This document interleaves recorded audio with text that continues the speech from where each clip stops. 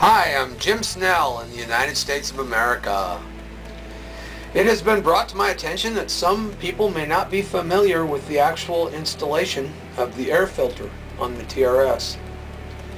It's not difficult, but I need to point out that it is not perfectly round. It is oval shaped, so there is a correct position. It mounts against this little spring here. On the cage for the filter there is a small nipple that protrudes through a grommet on the filter and that falls down into that spring. The filter is oval shaped, not round, so it must go with the narrow side side to side and the long side up and down as I'm showing here. And the reason for this is because there is a lip on the interior of the air box that seals the filter. I'm demonstrating here how it installs against that little spring which has a little area in the bottom that captures that little nipple on the filter cage which I will show in more detail in this video. That is the little nipple that falls down into the spring and here we see the air intake tube and how it has an area for the cage to sit in and you can see I'm demonstrating. When rotated 90 degrees the cage does not fit properly. When in its normal position it fits down into that area. So looking at the filter here, you can see clearly that it is oval shaped.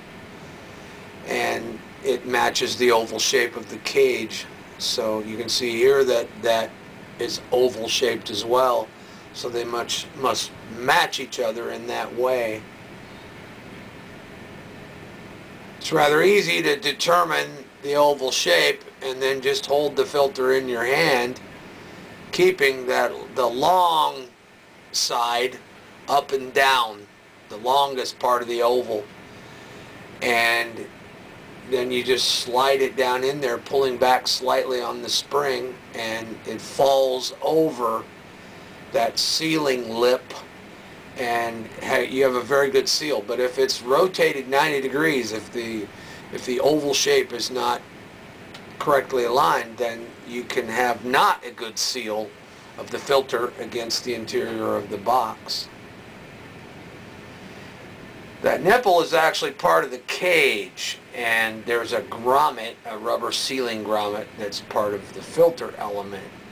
So when you have the two components apart, for example, when you're cleaning your filter, you can see here that that grommet has a hole in the center and that, that nipple on the cage plugs through that hole there in that grommet. And that nipple is what slides down over that spring as I explained previously. Here I demonstrate outside the airbox how they fit together. So here's some pictures of what those components look like close up. That's the little spring and you can see here how that little nipple is slid down there on the spring and there's a little capturing point. Here you can see a close-up Thank you for watching my video.